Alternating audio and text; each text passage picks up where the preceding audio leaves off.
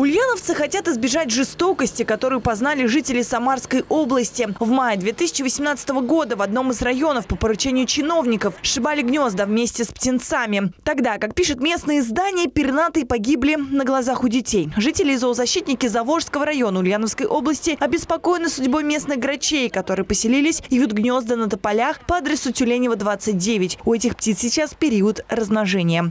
Понимаете, у них может быть второй э, выводок, может быть, а может не быть. И лишь когда техника туда поднимется, мы узнаем, да, там, допустим, что они там.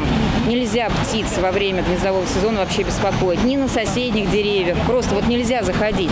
Тревогу жители забили после увиденного на одном из деревьев объявления о сносе девяти якобы аварийных тополей. В администрации нам пояснили, тополя здоровые. Основная причина сруба – инженерной коммуникации под землей. Их нужно заменить. Порубочные билеты имеются. Однако общаться на камеру с нами представители власти не захотели. За сохранение гнезд грачей местные жители начали бороться еще в конце апреля. А осенью прошлого года неравнодушные граждане попытались сохранить шесть тополей на противоположной стороне улицы. Но не успели. Их вырубили. Э, мы начали сначала, сначала отстаивать именно эти тополя.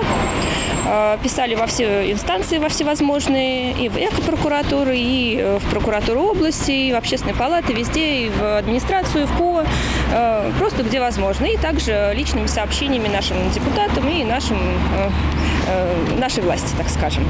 На что мы их только стали, видимо, злить. В результате в январе после очередных запросов э, пока мы ожидали запрос 6 февраля, э, никому не говоря, никак не оповещая, э, пришла техника и срубила вот эти все шесть тополей. Активисты уверены, 9 других тополей ждет та же участь. Деревья вырубят без предупреждения, когда заблагорассудится властям, а вместе с ними погибнут и грачи. У всех на виду. Пенсионерка Зоя Акшинцева, председатель совета одного из домов на Тюленева, говорит, что проблеме уже много лет. Власти и коммерсанты, с их слов, давно начали лишать район прав на благоприятную окружающую среду, а народ никто не слышит. Мы воюем с 11 года, вот начиная с Даниловой, там у нас посносили деревья, незаконно поставили. Много лет там никто ничего не строил. Трава была выше ростом меня, никто не убирал ничего.